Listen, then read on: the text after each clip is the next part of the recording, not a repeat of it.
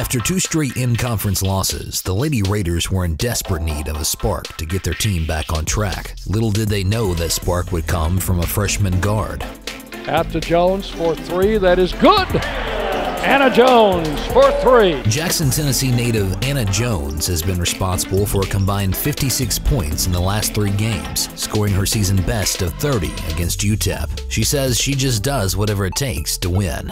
I want to do what I can to be that spark, whether it's knocking down an open shot, getting a big time rebound, or you know just being there for my teammates no matter what. Even though Anna has led the team to three straight victories, she's not letting the pressure get to her.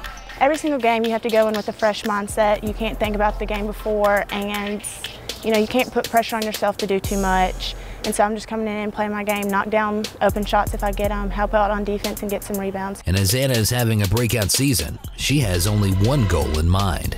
I really want to get a championship ring, but I'm not really too concerned with the points and the scoring. I just, if our team's winning, I'm pretty happy. And winning is something Lady Raider fans can get used to, as long as number 15 is on the court.